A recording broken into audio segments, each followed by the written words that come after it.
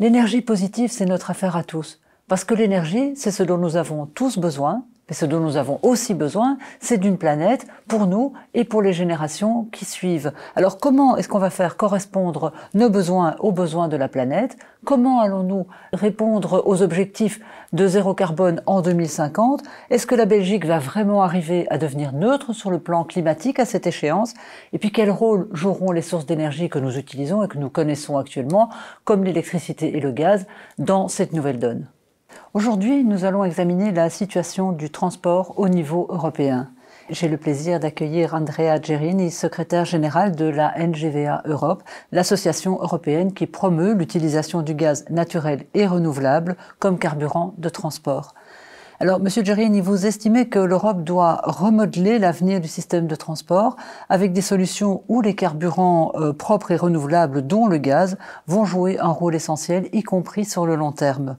Aujourd'hui, vous dites, euh, et je vous cite, nous sommes sur la bonne voie pour atteindre 13 millions de véhicules et 12 000 stations-service en Europe, proposant non moins de 40% de biométhane d'ici 2030 je vous propose de faire le point sur la situation en Europe et sur les perspectives pour les 30 ou 50 prochaines années.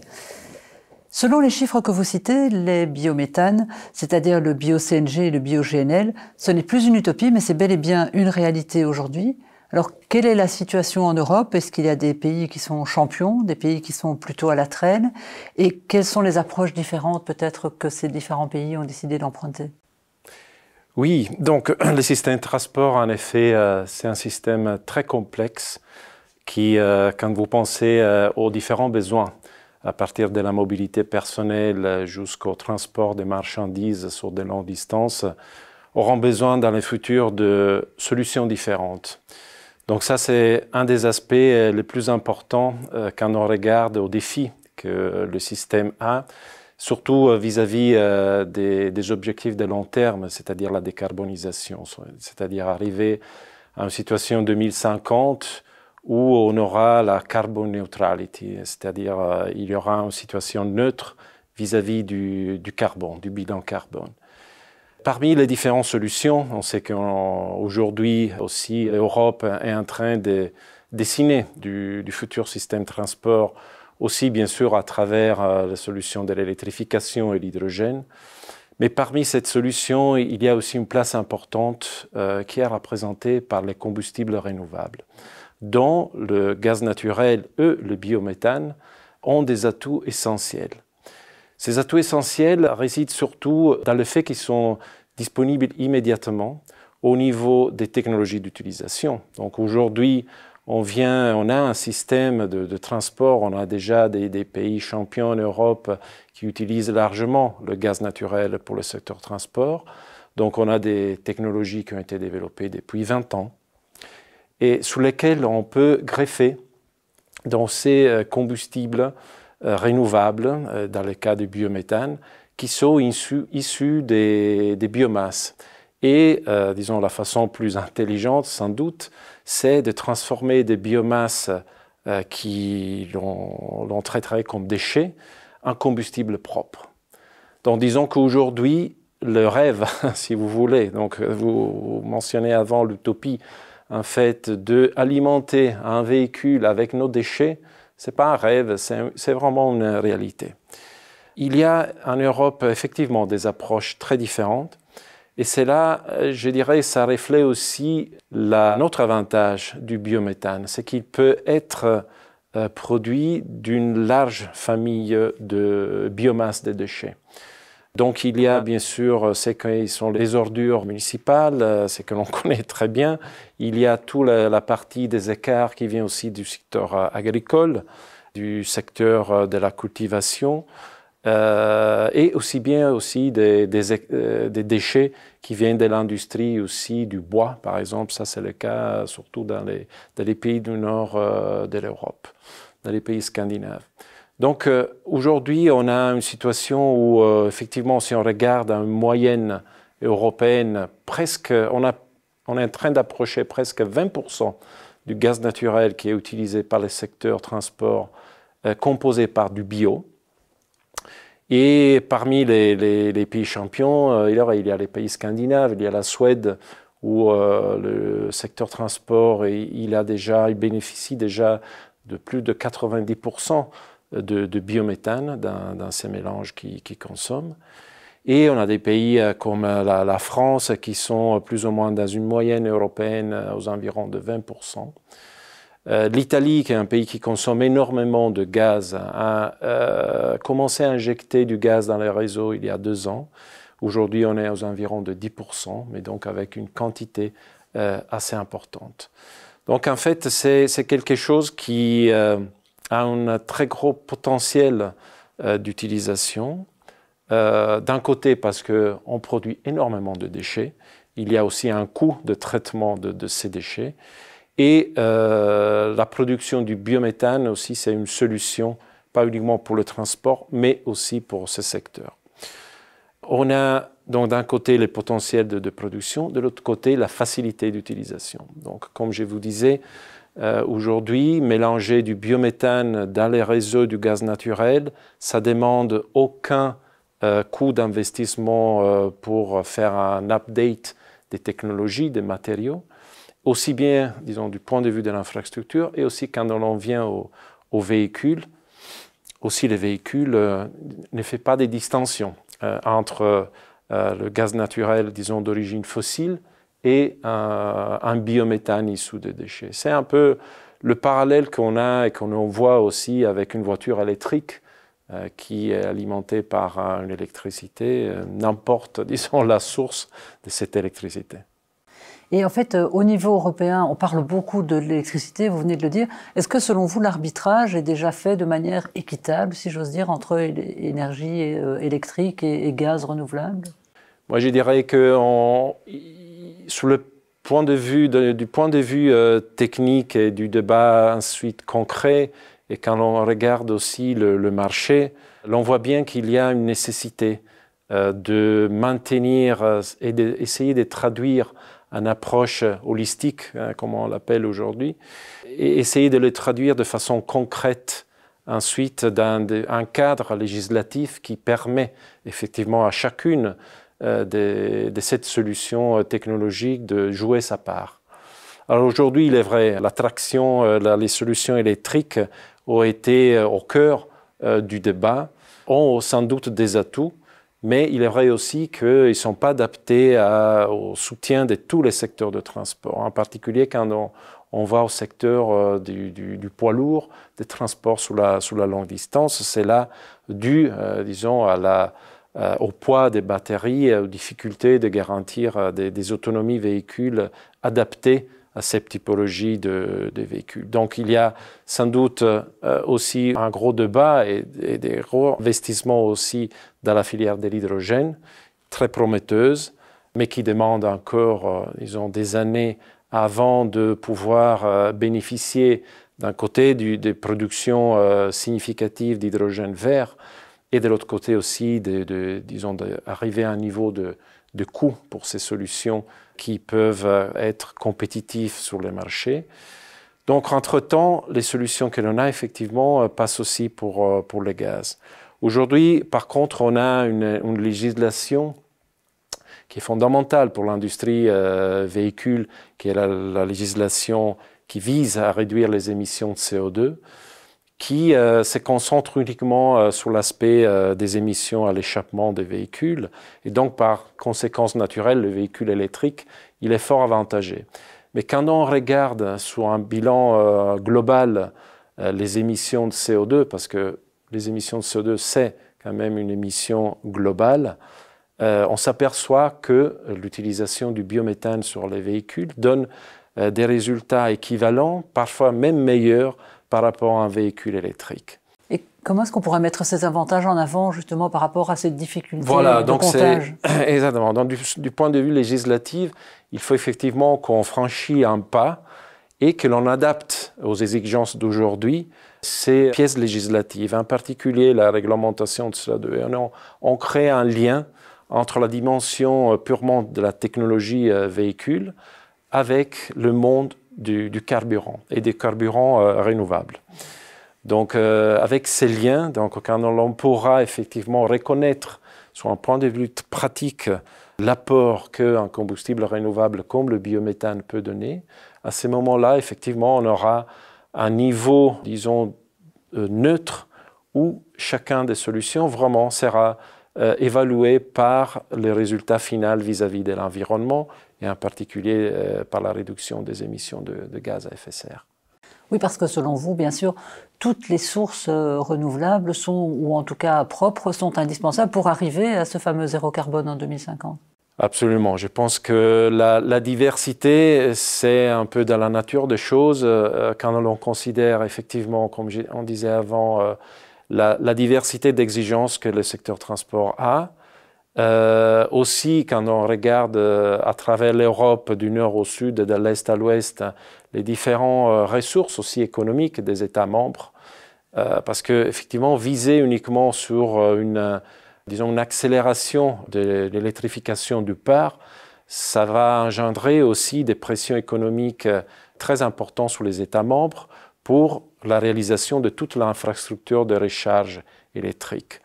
Euh, donc, ça ne veut pas dire qu'il ne faut pas le faire, mais il faut reconnaître quand même qu'il y a une échelle de temps que même avec tout le soutien financier que l'on pourra mettre, euh, c'est pas, on ne pourra pas la, comprimer.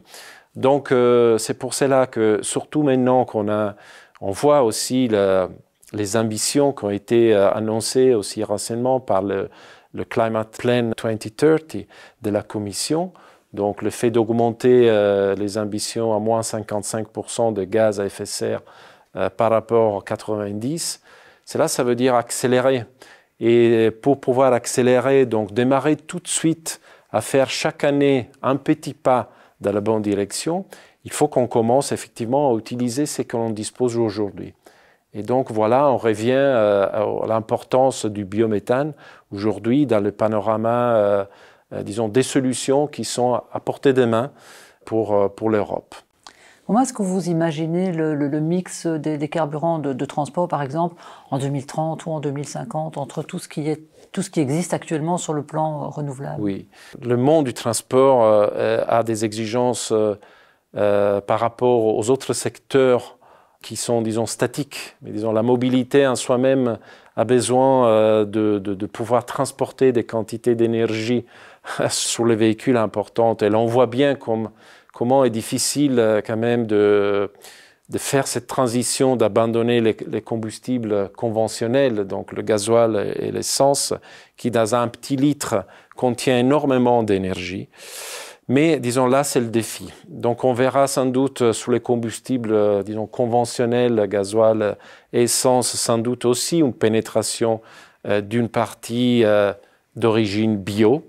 Euh, on, a, vu dans l'Europe euh, toutes les recherches euh, à travers les différentes familles de biocombustibles liquides. On parle aujourd'hui de combustibles synthétiques aussi qui commenceront à être produits à partir de 2030. À côté de ça, il y a effectivement l'utilisation de combustibles alternatifs, dont le, biométhane. Donc biométhane qui aujourd'hui, on disait 20%, 2030, on voit bien la possibilité en Europe d'arriver au moins à 40%, et il est clair qu'en 2050, la partie fossile sera proche de zéro. Donc on aura un système qui devra effectivement se baser sur un mix 100% renouvelable. Et le même, euh, disons, le même chemin ça sera celui euh, aussi, euh, disons, de la, traction électrique qui sera là, sans doute avec un progrès aussi technologique au niveau de, de batteries et surtout au niveau de la production verte euh, d'énergie électrique. Mais donc ça, ce sont tous des, des parcours qui seront effectués à des différentes vitesses, qui ont aussi des points très intéressants aussi de coexistence et aussi de synergie. On voit bien aussi dans le futur les solutions gaz naturel aussi, c'est combiné avec les, plateformes euh, hybrides véhicules. Donc pour euh, essayer de rechercher les rendements et des réductions de consommation les plus pointues, en même temps en ayant encore une motorisation thermique euh, alimentée avec un combustible propre produits par des déchets ou par voie synthétique, parce qu'on on aura capturé de la CO2 de l'atmosphère et on l'aura combiné avec de l'hydrogène vert euh, produit par les éoliennes euh, ou le solaire. J'imagine que c'est un casse-tête pour l'instant pour les constructeurs automobiles, notamment de voitures particulières, qui sont déjà pour l'instant, mais c'est très ponctuel peut-être, mais en tout cas qui sont en crise. Comment vont-ils faire pour pouvoir maintenir plusieurs pistes ouvertes, les voitures électriques, au gaz, au biodiesel, comme vous le disiez Et s'ils ne le font pas, bah, quel est le risque qu'ils qui ratent la, bonne piste peut-être? Oui, bien sûr. Ça, c'est les grands débats aujourd'hui. Et c'était un peu... Euh, un débat qui très souvent a été un peu mal interprété quand on fait référence à la fameuse neutralité technologique, qui très souvent a été un peu interprété comme courage de ne pas prendre les décisions. Euh, tandis qu'en fait, c'est le contraire, c'est-à-dire c'est le courage de laisser les technologies se développer et répondre au marché. Alors effectivement, vous avez raison, c'est une période extrêmement euh, compliquée.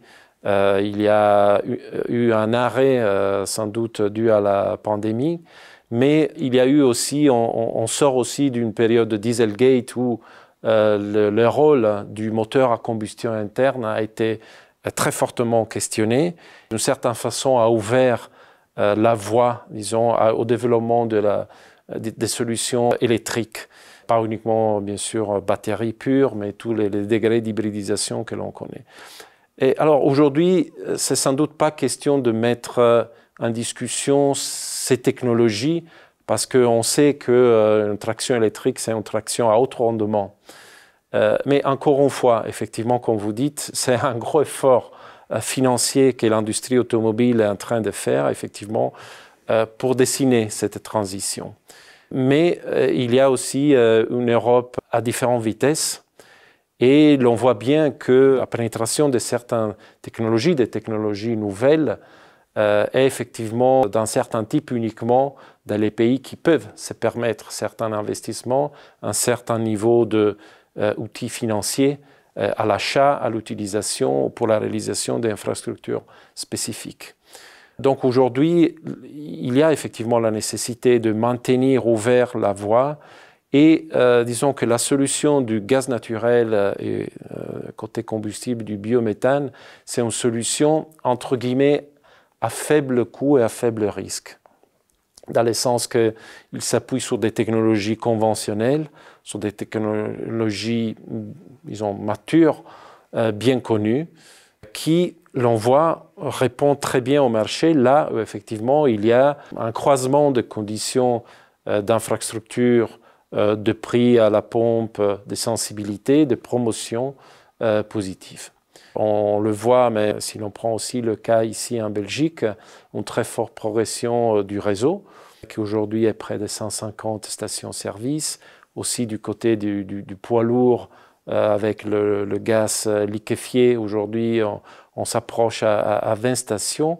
Et derrière, bien sûr, les clients s'approchent à cette typologie de, euh, de produits, parce qu'ils sont en train de chercher quand même euh, un produit qui a un impact environnemental euh, inférieur, aussi une rentabilité économique intéressante.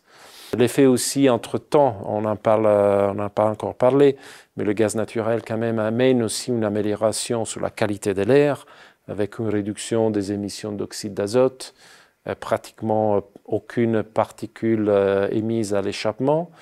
Euh, sous le secteur aussi euh, poids lourd, quand on, le compare au diesel avec des émissions de bruit qui sont plus ou moins de la moitié par rapport à une motorisation conventionnelle diesel. Donc, il y a quand même des avantages aussi du point de vue de l'utilisateur final qui sont le témoignage et qui sont là, disons, à, supporter un marché qui est quand même en constante croissance. Et justement, qu'est-ce qui pourrait être peut-être le déclencheur des, ventes de voitures au biométhane? Et, notamment, est-ce que cette question de l'infrastructure de ravitaillement se pose encore? Est-ce qu'il y a un point auquel, est-ce qu'on est déjà arrivé au point où on basculerait en se disant maintenant, il y en a suffisamment et je peux me décider? Au, vous savez, la question de l'infrastructure euh, qui suit le produit, le produit qui va suivre l'infrastructure, c'est une argumentation bien connue par les spécialistes du, gaz naturel et des combustibles alternatifs. Alors aujourd'hui, on, voit effectivement un potentiel. Hein. Le, gaz naturel, quand on prend les chiffres européens, représente encore euh, une petite niche. Mais quand on, quand on regarde un petit peu plus près, on s'aperçoit que, par exemple, dans les secteurs du poids lourd, euh, il y a des secteurs où, euh, effectivement, euh, sur les grosses distances, c'est le deuxième choix aujourd'hui après le diesel. Il y a les secteurs de transport en commun, donc des bus, qui est très intéressant, avec du pourcentage qui, varie, sont environ de 8% en Europe, mais il y a des pays où 10, 15% de la flotte est représentée par du gaz naturel. Alors le déclencheur, effectivement, ça sera cette intégration, cette approche intégrée et, cette reconnaissance de l'avantage qui dérive du biométhane sur l'environnement. Parce que ça, effectivement, ça mettra au même niveau une solution euh, d'un véhicule gaz alimenté au biométhane avec un véhicule électrique ou aussi à, l'hydrogène, sous le point de, vue des, des, émissions de gaz à effet de serre. Donc ça, effectivement, ça permettra de donner un élan encore euh, qui, qui ce secteur mérite. Et euh, c'est avec euh, cet élan-là que l'on regarde, que l'on voit une pénétration et un développement de la flotte aujourd'hui en 2030 d'à peu près 13 millions de, de véhicules. Ça veut dire qu'on pourra dire que plus ou moins en 2030, un bus sur trois sera immatriculé au gaz, un camion sur quatre au gaz et euh, peut-être un véhicule sur 10, 10%, 12% des véhicules au gaz naturel. Donc c'est quand même une contribution importante euh, quand on pense effectivement au coût de, cette, euh, de cette, solution vis-à-vis des technologies véhicules et des infrastructures. Aujourd'hui, on a des infrastructures. En Europe, on a à peu près 4000 stations véhicules GNC pour servir une flotte d'un million cinq cents véhicules qui circulent. Est-ce que c'est suffisant ou pas? Euh, Non, la réponse c'est toujours pas assez. la réponse c'est pas assez, mais pas pour cela. Mais bon, on sait que euh, le, business case du, du, GNC, euh, ça fonctionne effectivement quand sur le territoire il y a une certaine densité. Quand sous les axes autoroutières, sous les couloirs stratégiques, on a assuré certaines distances. Donc là, aujourd'hui, on s'approche aussi à, un débat très important sur la révision de la directive euh, européenne sur les infrastructures de combustibles alternatifs, la FID. Et effectivement, la dimension du biométhane aussi doit être mise en avant parce que, effectivement, investir aujourd'hui aux les infrastructures qu'on a déjà réalisées dans les années passées euh, sont là en fait comme facteurs qui pourront habiliter et pourront accélérer la pénétration et l'inclusion du combustible renouvelable dans les réseaux, sans aucun euh, surcoût. Euh, donc là, ce sera un débat aussi important. Comme, on a dit avant, côté constructeur, il y a cette législation très importante sur le CO2 qui effectivement détermine les choix technologiques de l'industrie automobile. En parallèle, il faudra aussi assurer que la dimension, disons, la reconnaissance du rôle que l'infrastructure, euh, pas uniquement de, disons, de distribution, les stations-service, mais aussi les réseaux gaz euh, jouent aujourd'hui dans la future inclusion du quota euh, bio, qui, qui, verra donc sans, sans aucun besoin de, de modification ni sur l'un ni sur l'autre. Est-ce que, par exemple, la, crise sanitaire qui, se déroule actuellement, malheureusement, dans quelle mesure est-ce qu'elle pourrait éventuellement avoir une influence sur l'évolution des mentalités, de la vision stratégique, toutes les préoccupations environnementales, la valorisation du local, l'économie circulaire, etc.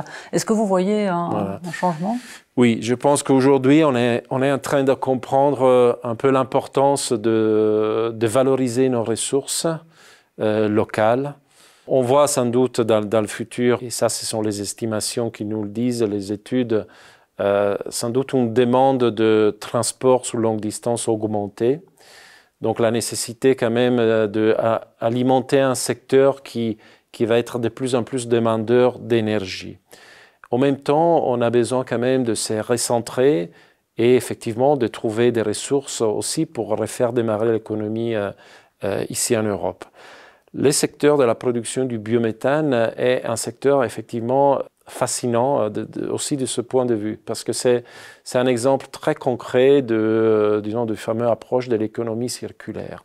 Aujourd'hui, on a un secteur de l'agriculture qui euh, peut effectivement euh, nous donner aussi bien des déchets, mais aussi l'opportunité d'optimiser certaines typologies de, de, cultivation.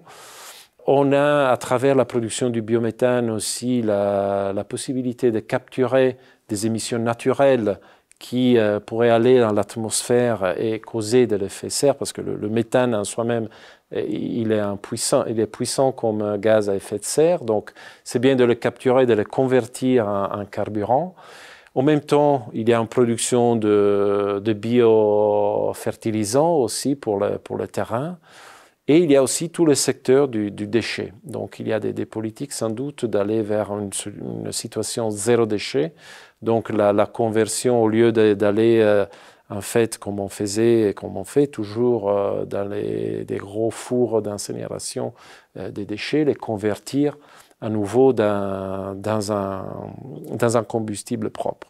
Vous savez, si l'on prend un exemple, on avait fait un, petit calcul sur une ville comme la ville de Bruxelles. Si on était capable de convertir nos déchets ménagers en biométhane, on serait capable d'alimenter une flotte euh, de presque 80 000 voitures avec du, biométhane. Et donc rouler euh, carbone neutral, comme on dit, donc avec un impact carbone zéro euh, sur la ville de Bruxelles. Donc ça, ce n'est pas un miracle, c'est une possibilité concrète, très très intéressante, surtout, comme vous dites, dans, ces périodes de, de post-crise où il faut qu'on trouve et que l'on met en pratique des voies vraiment pratiques pour tracer euh, dans un roadmap qui nous amène euh, à petits pas au 2030 et ensuite à 2050, mais euh, qui nous permet aussi de, partir tout de suite dans ces chemins.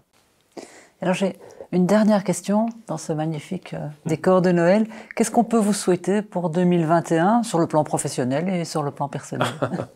Bah, Je pense que ce ce que nous devons nous souhaiter euh, tous, en fait, c'est d'avoir confiance effectivement dans, nos, ressources, nos ressources euh, intellectuelles, nos ressources naturelles, euh, et essayer effectivement de créer ces multitudes de fils rouges pour connecter les différents secteurs de notre économie, de notre vie sociale. Je vois aussi la possibilité, avec cette approche reliée aussi, au, l'économie circulaire, vraiment du rôle aussi du citoyen, du responsabilité euh, civile des, personnes beaucoup plus importantes euh, qui euh, feront la différence et bon bien sûr aussi en regardant les, générations à venir d'être plus sensible et essayer effectivement de nourrir et développer une sensibilité à ces thématiques, pas uniquement à travers parfois un peu trop de propagande, si, vous permettez ces termes, mais vraiment à, travers la compréhension. Il y a aussi une, nécessité d'éducation euh, des, nouvelles générations à ces thématiques euh, qui doit venir des exemples très concrets. Donc, euh, parce que c'est la mobilité, ça nous concerne tous. personne ne veut renoncer à la mobilité personnelle. Et on ne veut pas, euh, de toute manière aussi, euh, renoncer à vivre dans un, environnement euh, propre et aussi dans des conditions économiques, bien sûr, positives pour, pour tous nous. Donc ça, c'est un peu le souhait pour les, jours à venir. Monsieur Gérini, je vous remercie beaucoup. C'est moi. Merci beaucoup. Merci.